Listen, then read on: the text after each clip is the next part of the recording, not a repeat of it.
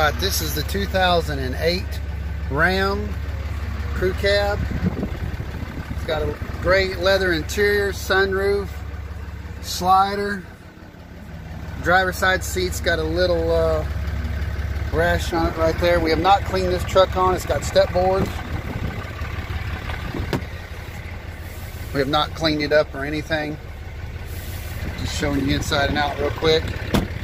Show you the tire tires on it. Tires are in good shape. It's got a spray-in bed liner. Local truck, came from Parkway Chrysler. It is a 4x4 Laramie. It's got a little dent right over here.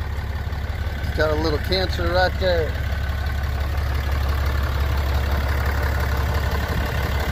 It's got the trailer and mirrors. Got the 6.7 Cummins diesel.